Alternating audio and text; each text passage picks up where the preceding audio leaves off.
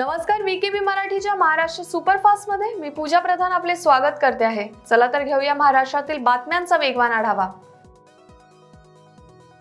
पुण्यात अनैतिक संबंधातून महिलेचा गळा आवळून खून करत पसार झालेल्या मोहम्मद गुलाब मोहम्मद मुख्तार शेख या आरोपीला विमानतळ पोलिसांनी बिहार येथे जाऊन अटक केली.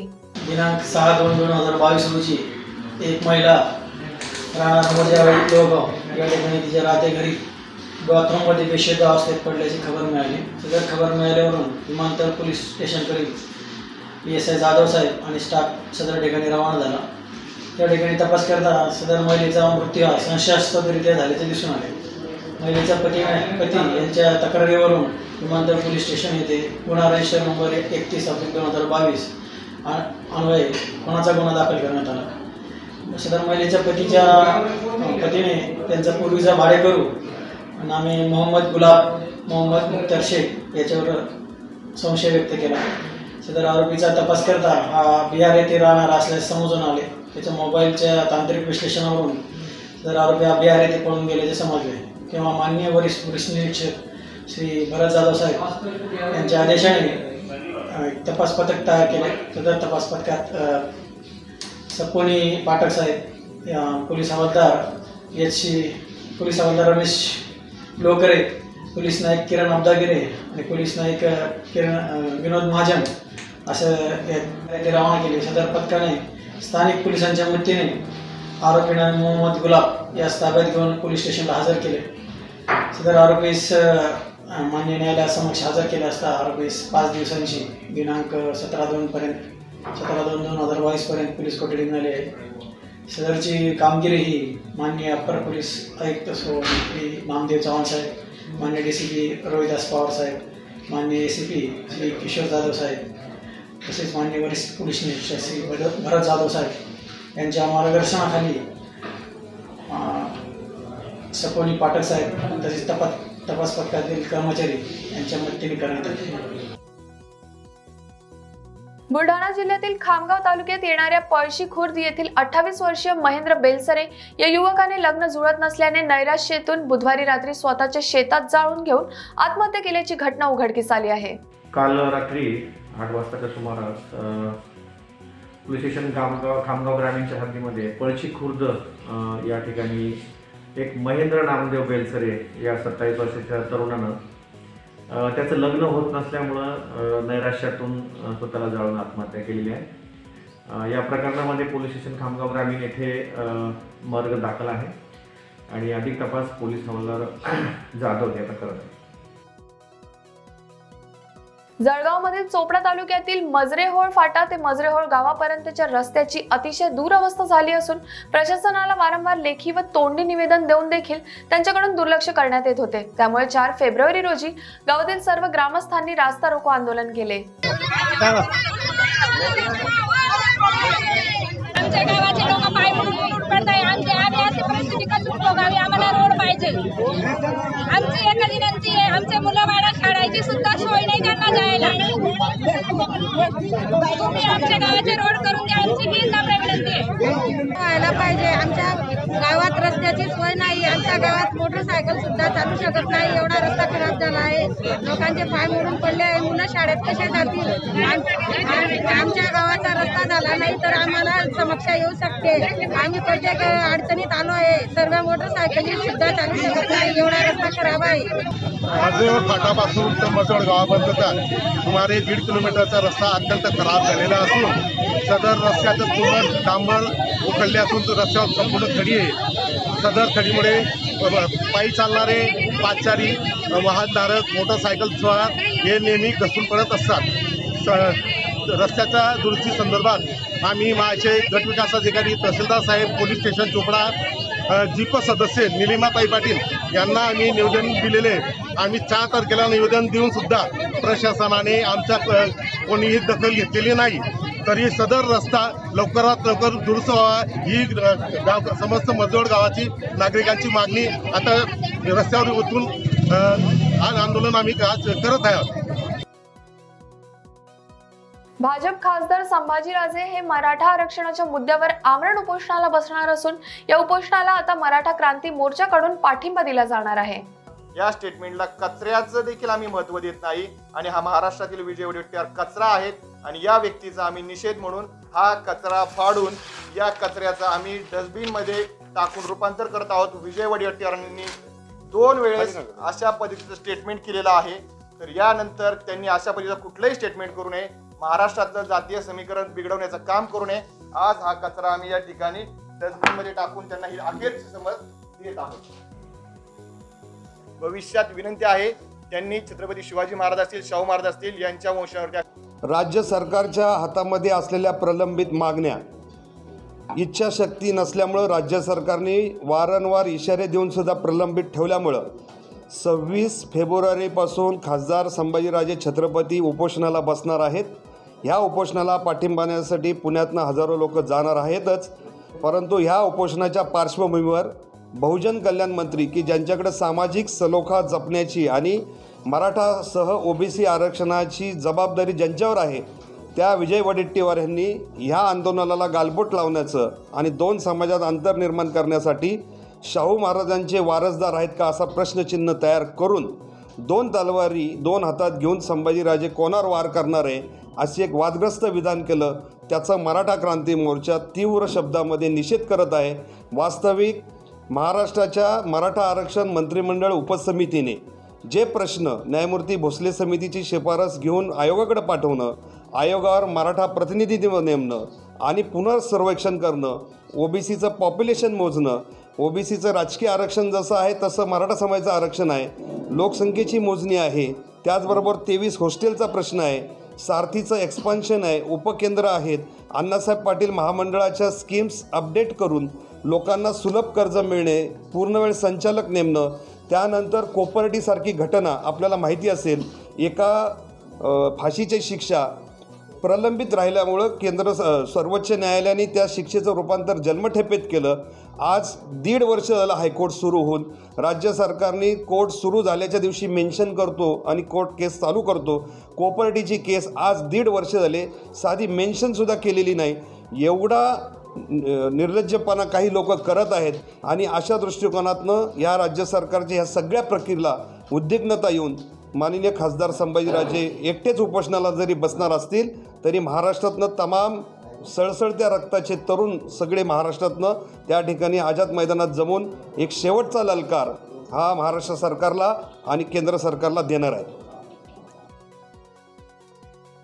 गाळप हंगाम दोन हजार वीस एकवीस मधील शेतकऱ्यांची संपूर्ण एफ आर पी न दिल्याने गाळप हंगाम दोन हजार एकवीस बावीस करता साखर आयुक्तांनी मकाई कारखाना गाळप परवाना नाकारला होता. कारखान्यास गाळप परवाना नसतानाही बेकायदेशीरपणे कारखाने गाळप सुरू केल्याने साखर आयुक्तांनी ऊस गाळपावर पाचशे रुपये प्रति टन प्रमाणे पाच कोटी त्रेसष्ट लाख दोन हजार पाचशे रुपयांचा दंड आकारला आहे. मकाई साखर कारखान्याने मागील वर्षाची ऊसाची एफ आर पी न देता कारखाना सुरू केला. बेकायदेशीरपणे गाळप केलेलं आहे. म्हणून माननीय साखर आयुक्त साहेबांनी सदर मकाई साखर कारखा सहकारी साखर कारखाना भिलारवाडी या का साखर कारखान्यास एक लाख बारा हजार सहाशे पाच टन हे बेकायदेशीरित्या गाळप केलेले आहेत. म्हणून सदर कारखान्यास पाच लाख त्रेसष्ट हजार पाच कोटी त्रेसष्ट लाख दोन हजार पाचशे रुपये एवढी रक्कम दंड म्हणून केलेली आहे. सदर कारखान्यास गाळप केलेल्या एक लाख बारा हजार टनाला प्रति टन पाचशे रुपयेप्रमाणे दंड आकारणी करण्यात आलेली आहे. हा दंड कारखान्याला झालेला आहे. बेकायदेशीर गाळप केल्यास तर स्वाभिमान शेतकरी संघटनेनं कायद्याप्रमाणे शेतकऱ्यांना ऊस बिले द्यावं म्हणून नेहमीच मागणी केलेली आहे. जे साखर कारखानदार कायद्याप्रमाणे एफ आर पी देतील त्यांचा सन्मान स्वाभिमान शेतकरी संघटना नेहमीच करेल. जे साखर कारखानदार. ऊसाची बिले वेळेवर देणार नाहीत. बेकायदेशीरपणा करतील. त्या साखर कारखानदाराच्या विरोधात स्वाभिमान शेतकरी संघटना यापुढे नेहमी रस्त्यावर असेल. सेवानिवृत्तीचे वय केंद्राप्रमाणे साठ वर्ष करावे. नवीन पेन्शन योजनेबाबत केंद्राप्रमाणे दुरुस्ती करण्यात यावी. यासह विविध मागण्यांना घेऊन शासकीय कर्मचारी संघटना आक्रमक झाली असून सरकारचे लक्ष वेधण्यासाठी येत्या तेवीस आणि चोवीस फेब्रुवारीला कर्मचारी संघटनेने आंदोलन पुकारले आहे. कर्मचारी सहकारी आमचे आहेत त्यांचा संप आहे तेवीस आणि चोवीस तारखेला. आमचा त्या मागण्या त्यांच्या आणि आमच्या एकच आहेत. या सगळ्या मागण्यांच्याबद्दल शासनाचं लक्ष वेधण्यासाठी वेतन श्रेणीमधल्या त्रुटी दूर करा सेवानिवृत्तीचं वय साठ करा आणि केंद्राप्रमाणे महागाई भत्त्याचा एक हप्ता राहिलेला आहे तो पण द्या. या पद्धतीने आम्ही महिलांच्या बदल्या फार लांब करू नका. जिथं सुविधा आहेत महिलांच्या तिथंच त्यांच्या बदल्या व्हायला पाहिजेत. अशा स्वरूपाच्या आमच्या एक मर्यादित मागण्या आहेत. परंतु ह्या खूप दिवसापासून दिल्या गेलेल्या नाहीत. म्हणून आम्ही या मागण्यांकडे शासनाचा लक्षवेध करणार आहोत. लक्षवेध म्हणजे तेवीस तारखेला सकाळी किंवा लंच टाईममध्ये आमचे अधिकारी सर्व छत्तीस जिल्ह्यामध्ये एकत्र येतील आणि एक निवेदन कलेक्टरच्या मार्फत शासनाला देतील मुख्यमंत्र्यांना. हा कार्यक्रम आमचा तेवीस तारखेला आहे. की जी दोन दिवस जे आहेत ते काम बंद आंदोलन राहील त्याची स्वरूप कसं असेल? नाही अ, काम बंद आंदोलन हे कर्मचाऱ्यांचं आहे. संप म्हणजे काम बंद आंदोलन. परंतु अधिकारी महासंघाचा या मागण्यांना पूर्ण पूर्ण पाठिंबा आहे. परंतु फिजिकली आमचे अधिकारी सर्व जिल्ह्यांमध्ये एकत्र येतील. आणि या मागण्यांकडे लक्ष वेधण्याचा लक्षवेध दिन पाळतील आणि निवेदनं जिल्हाधिकाऱ्यांना देतील. आणि ते मुख्यमंत्र्यांना ॲड्रेस केलेलं असेल साधारण किती कर्मचाऱ्यांचा सहभाग असेल साधारण सर्व कर्मचाऱ्यांची संख्या कर्मचारीच नाहीत तर निमशासकीय जे शिक्षक वगैरे आहेत ते पण या संपामध्ये आहेत. आणि ती संख्या एकोणीस लाखांची आहे. आंदोलन आणि सरकार हे समीकरण झालेलं आहे. आता तेवीस फेब्रुवारीचं हे आंदोलन कुठेतरी सरकारला अडचणीत आणण्यासाठी कारणीभूत ठरणार नाही असं वाटणार असं अजिबात नाही. आमच्या कर्मचाऱ्यांची संघटना असो की अधिकाऱ्यांचा महासंघ असो सरकारीला अडचणीत आणण्यासाठी कोणीही हे संप आंदोलनासारखं करत नाहीत. किंबहुना सग कुठल्याही पक्षाचं सरकार असलं तरी सामोपचाराने प्रश्न सोडवण्याकडे कल असतो. खूप निवेदनं दिलेली आहेत आणि होत नाही म्हणून संप करावा लागतो नाईलाज असतो अशी भूमिका आहे. मागण्यांसाठी संप आहे. कुठलंच राजकारण याच्यामध्ये नसतं. कर्मचारी संघटनेचं सुद्धा. औरंगाबाद शहरातील विद्यापीठ परिसर सोनेरी महाल हनुमान टेकडी गोगाबाबा टेकडी व लेणी परिसरातील निर्जन स्थळावरील काही तरुण तरुणी फिरत असल्याचे पेट्रोलिंग दरम्यान दिसून आले. या सर्व तरुण तरुणींना दामिनी पथकाच्या वतीने समज देण्यात आली असून औरंगाबाद शहरातील विविध निर्जन ठिकाणी पेट्रोलिंग वाढवण्यात आली आहे. आम्ही औरंगाबाद शहरचे पोलीस आयुक्त माननीय डॉक्टर निखिल कुमार गुप्ता. उपायुक्त अर्पणा गीते मॅडम व आमच्या इन्चार्ज उमाप मॅडम. यांच्यासह माझी टीम माझ्यासोबत माझे सहकारी आशा गायकवाड लता जाधव मॅडम अश्विनी चिकाटे मी स्वतः निर्मला निंबोरे. आम्ही आरमा शहरात महिलांच्या सुरक्षेसाठी विशेष पथक दामिनी पथक स्थापन केलेलं आहे. मान्य वरिष्ठांच्या आदेशानुसार आम्ही शहरात निर्जस्थळी भेट देत आहोत. आणि आम्ही जवळपास विद्यापीठ गोगाबाबा टेकडी आणखीन बौद्ध लेणी बऱ्याच ठिकाणी आम्ही पेट्रोलिंग करत असतो. पेट्रोलिंग करत असताना काही अल्पवयीन मुलं मुली आम्हाला निर्जस्थळी दिसून येतात. त्यावेळेस आम्ही त्यांना टोकतो त्यांना त्यांच्या आईवडिलांचा नंबर घेतो आणि घरच्या पालकांनाही संपर्क करतो आणि कन्फर्म करतो तुमची मुलगी कुठे गेलेली आहेत किंवा मुलगा कुठे आहेत? तर काही मुली बाहेरच्या शिक शिकायला इथं. तर काही वेळेस मुली म्हणतात मॅडम नका कळू आमच्या आईवडिलांना. पण मुलींना आम्ही समज देतो की आपलं शिक्षणाचं वय आहे हे शिक्षणावर ट्रस्ट करा आपण. व्यथेत व्य- विनाकारण. आम्ही आपल्या बौद्ध लेणी परिसरात पेट्रोलिंग केली विद्यापीठ परिसरात. पेट्रोलिंग करत असताना मला झाडाझुडपामध्ये निर्जस्थळी जे की जे आपले औरंगाबाद शहराचे पर्यटन स्थळ आहेत. पण विद्यार्थी काही विद्यार्थी शाळा सोडून कॉलेज सोडून बऱ्याच मध्यंतरी आपले मित्रमैत्रिणीसोबत ग्रुपनं विद्यापीठ परिसरात फिरताना दिसतात. काही ठिकाणी आम्ही आम्हाला विद्यार्थी बसून दिसून आले तर त्यांना आम्ही काही सूचना केल्यात काही वार्निंग तोंडी ताकीद दिलीत की यानंतर आपण अशा निर्जस्थळी फिरू नका. मुलींनाही खास करून स्ट्रिक्टली त्यांना सूचना ताकीद दिली की आपलं शिक्षणाचं वय आहे शिक्षणावर ट्रस्ट करा. बऱ्याच ठिकाणी मी झाडाझुडपापर्यंत डोंगर कपाऱ्यात पेट्रोलिंग केली. पेट्रोलिंग करत असताना काही ठिकाणी मुलं खूप अल्पवयीन मुलं अक्षरशः अठरा वर्ष सतरा वर्ष मुली पण सोळा वर्षाच्या काही ठिकाणी बाहेरचे मुलं होते बॅचलर मुलं वगैरे. तर खूप लांब लांब झाडाझुडपामध्ये मग आम्ही पायी पेट्रोलिंग केली. जवळपास तीस ते पस्तीस जोडप्यांना आम्ही तोंडी सूचना दिल्या आहेत. आणि मुलांनी विनंती केली की मॅडम यानंतर आम्ही असल्या निर्जस्थळी फिरणार नाही.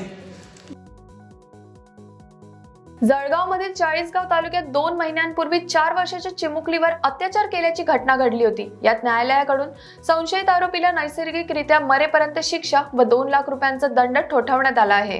तरचा जो खटला जर बघितला तर याच्यामध्ये जी पीडिता आहे तिच्यावर हा प्रसंग जेव्हा उद्भवला तेव्हा ती केवळ तीन वर्ष अकरा महिने आणि अकरा दिवसाची होती. आणि ज्यावेळेस मी तिची साक्ष चार जानेवारीला घेतली न्यायालयामध्ये तर त्यावेळेस खरोखर तिला बघून एक वाईट खूप वाटत होतं कारण तिच्या शरीरावरच्या ज्या जखमा होत्या त्याचे काळे व्रणसुद्धा त्यावेळेस तिच्या शरीरावर दिसत होते. आणि तिला बोलतं कसं करायचं कारण मुळात ती ह्या घटनेमुळे इतकी प्रचंड घाबरलेली होती तर ती बोलेल कसं हा एक मोठा माझ्यासमोरचा प्रश्न होता. परंतु तिने न्यायालयामध्ये तिची साक्ष अगदी व्यवस्थितरित्या तिने दिलेली होती आणि तिने आरोपीला सुद्धा ओळखलेलं होतं. जळगाव जिल्ह्यातील चाळीसगाव शहर पोलीस स्टेशनला सत्तावीस नोव्हेंबर रोजी एका घटनेच्या संदर्भाने अठ्ठावीस नोव्हेंबर दोन हजार एकवीसला तीनशे शहात्तर विथ पॉक्सो म्हणजे रेप विथ पॉक्सो असा गुन्हा हा दाखल करण्यात आलेला होता. या घटनेमध्ये एका चार वर्षाच्या चिमुरडीवर अतिप्रसंग केल्याची दुर्दैवी अशी घटना घडलेली होती. चाळीसगाव शहर पोलीस स्टेशनच्या A P I Takle D Y S P Shri Gawde P I K K Patil यांच्यासह त्यांच्या टीमने एकूण सोळा दिवसांमध्ये या गुन्ह्याचं D N A report C एचे report एकूण सर्व जबाब याच्या आधारे अतिशय उत्कृष्ट असा तपास करत अवघ्या सोळा दिवसांमध्ये चौदा डिसेंबर दोन हजार एकवीसला चार्जशीट केलं होतं. या गुन्ह्याचा निकाल हा गुन्हा अतिशय फास्ट ट्रॅक कोर्टामध्ये डे टू डे बेसिसवर चालवून या गुन्ह्याचा आज रोजी निकाल साठ दिवसाच्या आत साठ बासष्ट दिवसांमध्ये हा माननीय न्यायालयाने दिलेला आहे आणि या गुन्ह्यामध्ये सदर आरोपीला आजन्म कारावास तसेच आर्थिक दंडाची शिक्षा या सर्व सेक्शन्समध्ये केलेली आहे. एकूण चार सेक्शन्स जे गुन्ह्यामध्ये आहेत त्याच्यामध्ये त्याला जन्मठेप मरेपर्यंत कारावास अशी शिक्षा या गुन्ह्यात दिलेली आहे. या गुन्ह्यामध्ये आमच्या अधिकारी कर्मचाऱ्यांच्या व्यतिरिक्त D G P Shri Ketan Dhake forensic science लॅबोरेटरीचे deputy director Shri More तसेच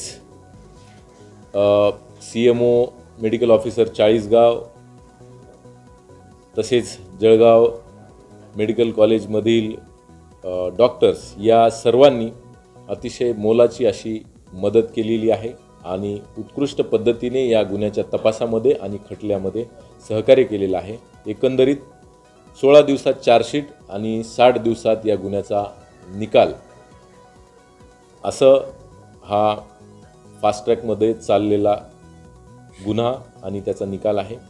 एका चार वर्षाच्या मुलीवर झालेल्या अत्याचाराच्या गंभीर गुन्ह्याच्या संदर्भाने आज ऐतिहासिक पद्धतीने हा गुन्ह्याचा तपास आणि खटला चालून निकाल तसेच न्याय एकंदरीत देण्यामध्ये आम्हा सर्व यंत्रणांना यश आलं आहे. त्यामुळे आधार कार्ड सर्वांसाठी आवश्यक कागदपत्र बनले आहे. बँकेशी संबंधित कोणतेही काम करण्यापासून ते घराचे रेशनिंग शाळेत प्रवेश घेणे सरकारी योजनेचा लाभ घेणे अशी अनेक कामे आहेत ज्यासाठी आधार कार्ड आवश्यक आहे. अशा परिस्थितीत आधारचे महत्त्व लक्षात घेऊन यू आय डी ए आयकडून देशभरातील आधार केंद्रांची संख्या वाढवली जात असून ठाण्यात एकाच वेळी एक हजार नागरिकांना आधार कार्ड बनवता व त्याचे काम करता येईल असे मोठे आधार केंद्र उभारण्यात आले आहे.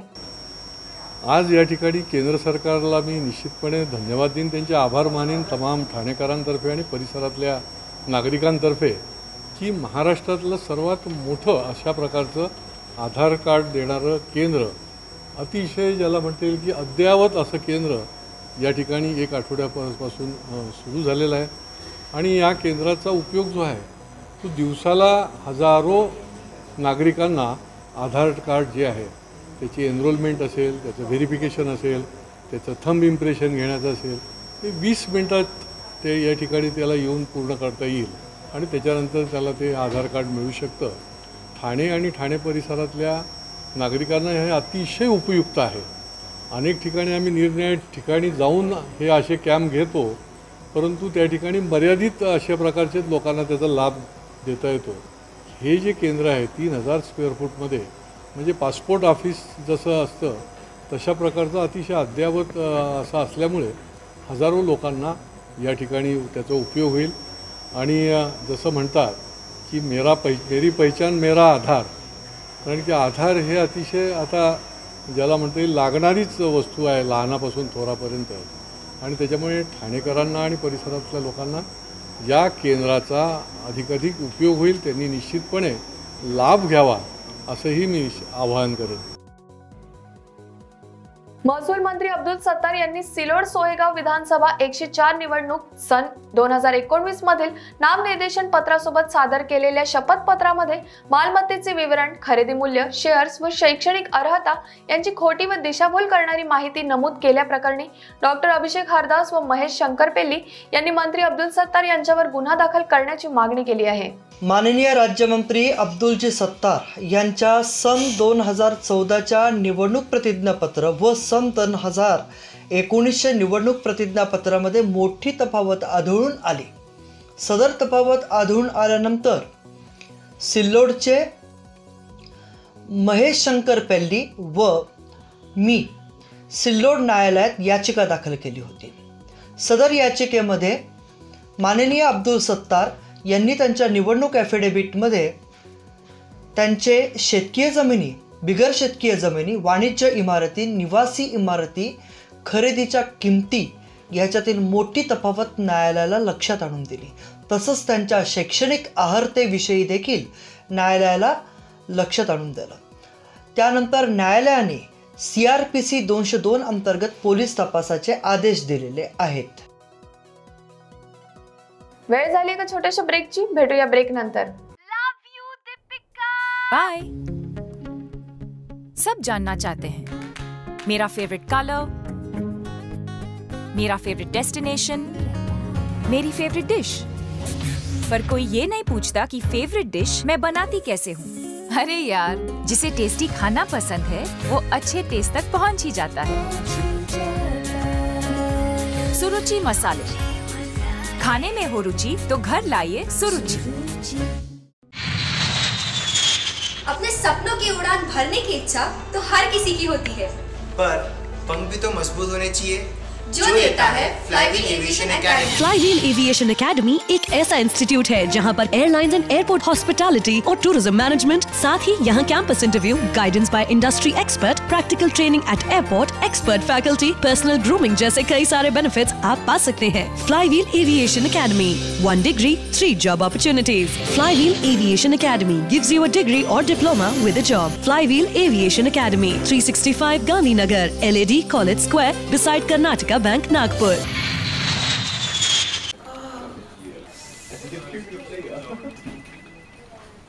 boss ने मीटिंग बुलाई।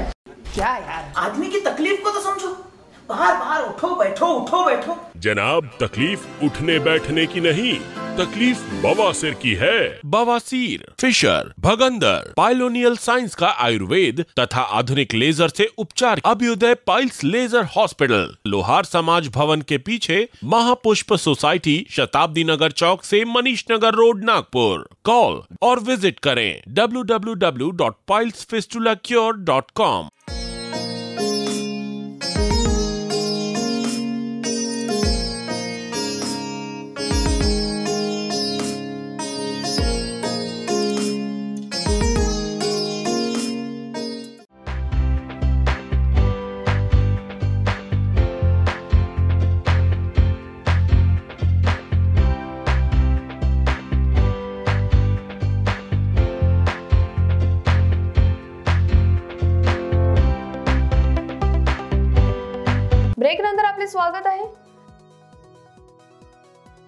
Nashik जिल्ह्यातील अनेक गावांमध्ये खंडेराव महाराजांचा यात्रा उत्सव साजरा केला जातो. मात्र कोरोनामुळे दोन वर्षांपासून यात्रा बंद असून आता कोरोना काहीसा आटोक्यात आल्यामुळे येवला तालुक्यातील नगरसूल गावामध्ये मागी पौर्णिमेनिमित्त सायंकाळी येरकोट येरकोट जय मल्हारचा गजर करीत बारा गाड्या ओढण्यात आल्या.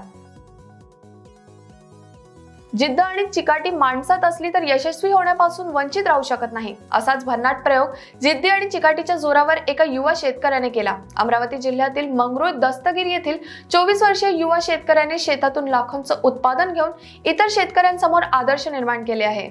शेती माझ्याकडे दायकर दहा एकर शेती आहे माझ्याकडे. कडे दहा एकर शेती आहे दहा एकर शेतामध्ये मी भाजीपाला उत्पादन घेत असतो. गेल्या दोन वर्षामध्ये कोरोना काळामध्ये जवळपास मला पंधरा लाख रुपयाचं नुकसान झालेलं आहे. त्याच पार्श्वभूमी मला त्याची भरपाई काढण्यासाठी यावर्षी मला भाजीपालाच पूर्ण लावलेला होता. त्यामध्ये मी टमाटर चवळी वांगी आणि यावर्षी चांगले रेटसुद्धा मिळाले. वांग्याला मार्केटमध्ये ऐंशी ते पंच्याहत्तर रुपये सरासरी भाव मिळाले. आतापर्यंत मला उत्पन्न पंधरा लाख रुपये झालेला आहे. इथून मला समजा पुढे तरी पण पाच एक लाख रुपयाची अपेक्षा आहे. माझं टनवर वीस लाख रुपये होतात दरवर्षी. आणि त्यातून मला मजुरीसुद्धा मी जवळपास सा दहा ते पंधरा कुटुंबाला रोजगारसुद्धा मिळून द्यायचा प्रयत्न करत असतो. शेती ही फायद्याचीच असते. पण थोडा प्रयत्न हा चांगला आणि अनुभवी व्यक्तीकडून जरासा अनुभव मिळाला तर शेती ही चांगलीच असते. नाव? अनुभव हा मला माझ्या वडिलाकडून मिळालेला आहे. नाव तुझं सांग. अ, माझं नाव किरण मनोहर इंगडे. बुधवारी सायंकाळी पाच वाजेच्या सुमारास नागपुरातील एका बँकमध्ये एक इसम पिस्तूल घेऊन पोहोचल्याने परिसरात एकच खळबळ माजली होती. आज अ, पाच अ, बजेच्या दरम्यान Ramdas पेठमध्ये I C I C I bank अ, मध्ये एका अ, माणूस आला होता. त्यांच्यासोबत एका नकली पिस्टल होती आणि ते ते कॅरी करत होता. त्यांचा असा सांगणं होता की त्यांनी जे बँक मॅनेजर आहे त्यांच्या त्या मिळण्याची त्यांची इच्छा होती. ते लोकांना आता सांगत होते आणि ते वेपन पण त्यांच्यासोबत होता. आणि जे असिस्टंट मॅनेजर होते त्यांच्यामध्ये भीती झाली. त्यांनी वन झिरो झिरोवर कॉल केला. बडीची जे पोलीस होती ते तिकडे पोहोचली आणि त्यांनी त्यांना ताब्यात घेतला आणि आता कंप्लेंट घेण्याची प्रक्रिया चालू आहे. ऑटोमध्ये बसलेल्या महिलेचा विनयभंग केल्यानंतर तिने त्या व्यक्तीला मारहाण केल्याचा व्हिडिओ सोशल मीडियावर वेगाने व्हायरल झाला असून हा व्हिडिओ नागपूरच्या बर्डीचा असल्याचे सांगण्यात येत आहे.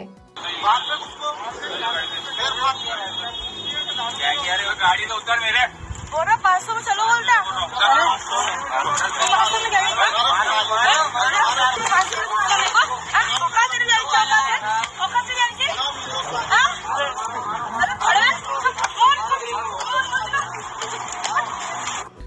ना- पोलीस स्टेशन बर्डी हद्दीत समाज माध्यमावर एक व्हिडिओ व्हायरल होत आहे, ज्यात एक महिला एका पुरुषाला मारहाण करताना दिसत आहे. त्या अनुषंगाने पोलीस स्टेशन बर्डी येथे अद्याप कोणतीही तक्रार आलेली नाही आहे. परंतु जर तक्रार लागल्यास आम्ही पुढील कारवाई करण्याची तजवीज ठेवलेली आहे. परंतु सध्या अजून कोणी आमच्याकडे ती महिलाही नाही आली आणि तो पुरुषही नाही आणि कोणताही त्रयस्थ आपल्याकडे तक्रार देण्याकरता अद्यापपर्यंत आलेला नाही. परंतु तक्रारीच्या अनुषंगाने शोध सुरू. वर्धेतील म्हसाळा येथील सौरभ दुबे याची आय पी एल सीझन दोन हज़ार बावीस मध्ये निवड झाली असून सनरायझर्स हैदराबाद संघाने सौरभला वीस लाख रुपयात विकत घेतले आहे. सबसे पहले तो मुझे प्रोफेशनल क्रिकेट में ज्वाइन होने के लिए चार साल मतलब पहले चार साल से ही मैं प्रोफेशनल क्रिकेट में एंटर हुआ हूँ। उससे पहले टेनिस बॉल क्रिकेट खेलता था। उसके लिए मेरे भाई ने मुझे काफ़ी पुश किया कि जैसे कि टेनिस बॉल क्रिकेट में कुछ रखा नहीं है। लेदर बॉल क्रिकेट ज्वाइन कर। वर्धा डिस्ट्रिक्ट जहाँ एक ब्रदरहुड प्रीमियर लीग करके टूर्नामेंट होता है उसके लिए ट्रायल दे और उसमें खेल तो जाके तेरा कुछ आगे हो सकता है। ऐसा उन्होंने कहा। उसके बाद मैं ज्वाइन किया club join KIA then brotherhood premier league tournament खेला।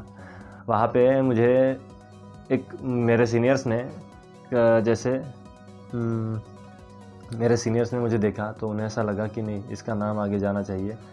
तो उन्होंने श्री रवि लुंगे, जो मेरे कोच है, वर्धा के, उन्होंने देखा, उन्हें, उन्होंने मेरा नाम आगे रिकमेंड किया। उनकी, उन्हीं के बदौलत मुझे जैसे बी के लिए सिलेक्शन हुआ। Then B C Ranji trophy squad के लिए मैं 2017 में सिलेक्ट हुआ। तो वहाँ से फिर कंटिन्यूसली मेरा, जैसे एक जर्नी स्टार्ट हुआ प्रोफेशनल क्रिकेटर की। उसके बाद से परफॉर twenty three C K Naidu trophy ए, उसके बाद जैसे 23 इंडिया बायलैटरल सीरीज़ थी लखनऊ में बांग्लादेश अगेंस्ट वो और फिर इमर्जिंग एशिया कप के लिए मेरा सिलेक्शन हुआ। तो उसके बाद जब परफॉर्म करते रहा तो कंटिन्यूसली उसके बाद मुझे मुंबई इंडियंस ने as a net bowler call KIA. मैं दो साल से मुंबई इंडियंस के साथ जुड़ा रहा और अभी मैं आईपीएल में सनराइजर्स हैदराबाद से जुड़ चुका हूँ। तो इस तरह से मेरा जो ट्रैवल जर्नी था, वो इस तरह से स्टार्ट हुआ। जैसे आईपीएल सभी को पता है, अगले महीने से स्टार्ट हो, होने वाला है तो जब भी हमें कैंप के लिए बुलाया जाए और जैसे ही हमें कैंप हमारा स्टार्ट होता है तो हमारी सारी ट्रेनिंग शुरू हो जाएगी। उसके बाद जब भी हमें चांस मिलेगा मैच खेलने के लिए या मैच के साथ, टीम के साथ जाने के लिए तो नया एक्सपीरियंस आएगा। नए नए प्लेयर्स मिल, उनसे नए नया नया एक्सपीरियंस जैसे वो शेयर करेंगे। हम भी जाके उनसे पूछेंगे। तो ये सब नई चीज़ें हमें सीखने मिलेगी। और जैसे भी हमें चांस मिलता है, मुझे चांस मिलता है तो मैं अपना बेस्ट देने का ट्राई करूँगा। जैसे ही मेरा पहला सीज़न था colonel C K Naidu trophy का तो उस वक्त हम सेमीफाइनल में रिच सेमीफाइनल में पहुँचे थे। तो सेमीफाइनल मैच हमारा ईडन गार्डन था बंगाल अगेंस्ट तो उस समय क्रूशल क्रूशल मैच था हमारे लिए। काफ़ी क्रूशल इनिंग थी। उस वक्त मैंने अच्छा परफॉर्म किया। नागपूरमधील कळमना भाजी मार्केट येथे मोबाईल चोरांना कळमना पोलिसांनी अटक केली आहे. आरोपी शेख मुझफ्फर व त्याचा मित्र शहबाज खान हे दोघे मोबाईल चोरी करून पश्चिम बंगाल व झारखंड अशा ठिकाणी विकायचे अशी माहिती पोलिसांनी दिली आहे. दिनांक नऊ रोजी सतीश मानमोळे हे वाठोळ्याचे राहणार आहेत. इथं कळमना मार्केटमध्ये भाजी घेण्यासाठी आले होते. ते भाजी घेत असताना एक अठरा वर्षाचा मुलगा त्यांचा मोबाईल चोरत होता. त्यांचं लक्ष गेलं. गाडीवर बॅगमध्ये मोबाईल होता तो पिशूमध्ये ते लगेच त्या मुलाचा त्यांनी पाठलाग केला. पाठलाग केला तो पळाला. पळाल्यानंतर त्याला पकडलं. तात्काळ पोलिसांना त्यांनी इन्फॉर्म केलं. पोलिसांनी लगेच घटनासाठी घटनास्थळी गेले. त्या इस्माला ताब्यात घेतलं. त्याने सुरुवातीला उळवाउळीचे उत्तर दिलं. परंतु शाहबाज खान आणि त्याच्यावर त्याचा एक मित्र होता हे झारखंडला येथील आहेत. ते मोठ्या शहरात म्हणजे नागपूर जबलपूर छिंदवाडा रायपूर या इथं इथं मार्केट एरिया अशा ठिकाणी जातात आणि दोन चार दिवस थांबून ते मोबाईल चोरत असतात आणि ते सर्व मोबाईल झारखंडला किंवा पश्चिम बंगाल इथं ते विकत असतात. तसाच हा शाहबाज मिळाला. शाहबाजला सखोल चौकशी केली असता शाहबाज काही उडवाउडीचे उत्तर द्यायला लागला? त्याचा मोबाईल ताब्यात घेतला असता. त्यात आम्हाला एक लिस्ट मिळाली. की तो जबलपूरला आहे मोबाईल. या या नंबरचे मोबाईल नंतर नागपूरला हे नंबरचे मोबाईल. तिला विश्वासात घातला तो इथं कुठं राहत होता? यशोधराच्या हद्दीत अ, त्याने एक रूम भाड्याने घेतली होती. तिथे गेलो आणि त्याच्याकडनं आम्ही जवळपास अठरा मोबाईल एक लाख रुपये किमतीचे मोबाईल जप्त केलेले आहेत. आरोपीला अटक केलेले आहे. आरोपींचा चार दिवस पी सी आर मिळाला आणि तो आता सध्या एम सी आरमध्ये आहे.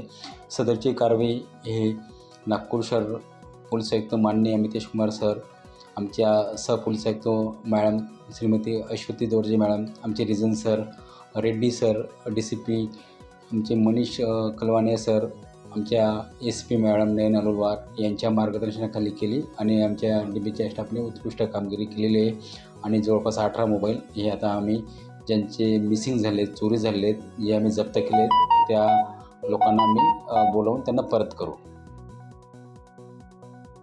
आदित्य बारमधील छाप्यानंतर पोलिसांनी बारमध्ये गायिकांवर पैसे उधळल्याच्या प्रकरणात नागपूरच्या कुख्यात गुंड मारुती नव्वा यासह एका प्रदीप उके नावाच्या व्यक्तीला आरोपी बनवले होते. मात्र त्याच प्रदीप उकेचे भाऊ ऍडव्होकेट सतीश उके यांनी आता या प्रकरणात नवा दावा केला असून त्यांनी या बाबतीत आणखी माहिती देण्याकरिता पत्रकार परिषद घेतली. ही प्रेस कॉन्फरन्स आजची प्रेस कॉन्फरन्स आहे की देवेंद्र फडणवीस टोळीने गुप्तहेर संघटना कशी तयार केलेली आहे त्यांची खाजगी आणि ते कसे कसे काम करतं? आणि ते कसे आमच्या आता रेकॉर्डवर आलेले आहेत? याबाबत पूर्ण डिटेल माहिती जी होती सन दोन हजार बारा तेरापासून ही आम्ही आज दिलेली आहे प्रेस प्रेस कॉन्फरन्सद्वारे. याच्यामध्ये सर्वात पहिला जो प्रकार त्यांनी जो केला होता जज लोहाच्या मृत्यू प्रकरणामध्ये त्यांच्या गुप्तहेरांनी कशी कशी आपली कामगिरी बजावली? कशा पद्धतीने सरकारी रेकॉर्ड गायब झाला डिस्ट्रॉय झाला? विधी व न्याय विभागाच्या पत्रानुसार जज लोया साहेबांना स्टेट ऑफ महाराष्ट्राच्या विधी व न्याय विभागाने खास या कामाकरता बोलावले होते. परंतु सु- सर्वोच्च न्यायालयापर्यंत ही खोटी माहिती देण्यात आली की ते लग्न समारंभ निमित्ताने आले होते आणि ही फाईल डिस्ट्रॉय करण्यात आली.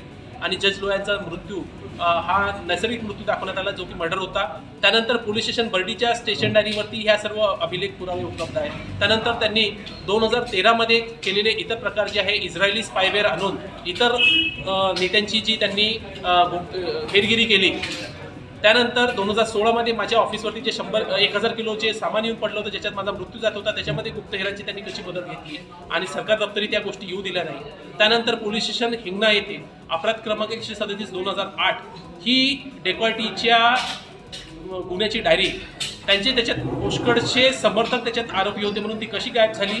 त्यानंतर मग त्या हेरांनी पुढे काय काय केलं? पोलिसांना कसं आमच्या विरोधामध्ये खोटे गुन्हे दाखल करण्यात प्रोत्साहित केलं? खोटे फिर्यादी जमवले. त्यानंतर त्यांनी ती डायरी मिळू नये आणि आम्ही सर्व डिस्टर्ब व्हावं म्हणून नऊ तारखेला ती पोलिसांना खोटी माहिती दिली की डान्स कोणी या ठिकाणी गायिकेवरती पैसे उजळत आहे या सर्व गोष्टी. परंतु याच्यामध्ये आम्हाला तो गुप्तहेर या शेवटच्या हिंगण्याच्या गुन्ह्यामध्ये सापडला ज्याच्यामध्ये पोलिसांनी लिहिलेला आहे की त्यांना गुप्त माहितीदाराकडनं माहिती मिळाली. हा जो गुप्त माहितीदार आहे हा देवेंद्र फडणवीसच्या टोळीतील गुप्तहेरांपैकी आहे. आणि या गुप्तहेरापासून आता संपूर्ण गुप्तहेरांचं जे सर्कल आहे ते सर्व सर्कल पकडल्या कोण आहे तो? कोण आहे तो? अनेक लोक आहेत त्यांची नावं आम्हाला माहीत आहेत परंतु आम्ही पोलीस तपासामध्ये त्याचं नाव सांगून व्यत्यय आणू शकत नाही. आणि आम्हाला त्यांचे नाव चेहरे आमच्याकडे त्यांचे फोटो सर्व डिटेल्स आमच्याकडे आहे. ते देवेंद्र फडणवीसशी कसे संबंधित आहे? आणि त्या दिवशी देवेंद्र फडणवीसचा जो राईट हँड आहे देव धर्मारामाने हा मारुती नव्वाकडे जाऊन त्यांनी प्रदीप उकेसाठी मेसेज पाठवला होता की तू तुझ्या भावाला समजाव की देवेंद्र फडणवीसच्या विरोधातले सर्व प्रकरणं त्यांनी शांत करावेत त्यांनी त्याच्यात बोलू नये ते वाढवू नयेत ते प्रकरण न्यायालयात चालवू नयेत. त्याच्यामध्ये जज डोळ्यांचं प्रकरण मुख्यत्वे जज डोळ्यांची ही फाईल बाहेर काढू नये. ज त्याच्यानंतर सोनेगावचं मर्डर केस त्याच्यानंतर मग त्यांच्या विरोधामध्ये न्यायालयात चालत असलेला अंतिम टप्प्यात असलेला खटला ॲक्सिस बँकेचं प्रकरण महापोर्टल घोटाळा त्याच्यानंतर मग पीडब्ल्यू डीचा घोटाळा असे अनेक घोटाळे जे आहे आणि विशेष करून नॅशनल कॅन्सर हॉस्पिटलचा घोटाळा. यवतमाळच्या पुसद तालुक्यातील आसोली गावात तीव्र पाणी टंचाई निर्माण झाली आहे. जिल्हा परिषद उपाध्यक्ष बाळासाहेब कामारकर यांच्याच गावातील अडीचशे ते तीनशे महिलांनी रास्ता रोको आंदोलन करून संताप व्यक्त केला.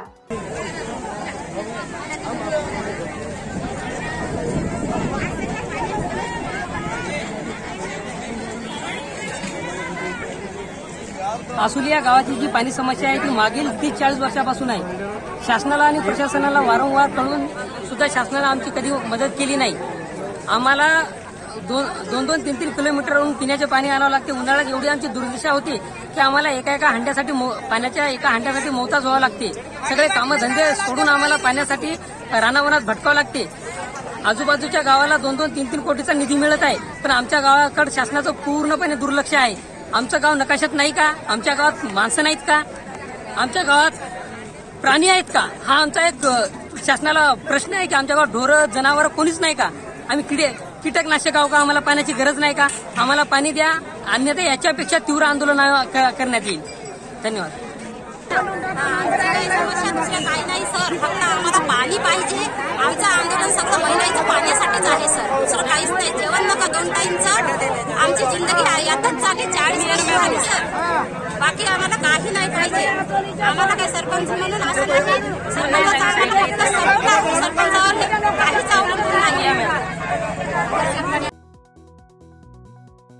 महानुभाव पंथाचे संस्थापक सर्वज्ञ श्री चक्रधर स्वामी यांच्या पदस्पर्शाने पावन झालेल्या मराठवाडा व विदर्भाच्या सीमेवर असलेल्या जालना जिल्ह्यातील भोकरदन तालुक्यातील श्री क्षेत्र जाईचा देव येथील यात्रा कोरोनाच्या पार्श्वभूमीवर मागील वर्षी रद्द करण्यात आली होती. मात्र यावर्षी जिल्हाधिकारी यांनी दिलेल्या कोरोना नियमांचे पालन करत श्री चक्रधर स्वामी दर्शनी यात्रेला प्रारंभ करण्यात आला आहे.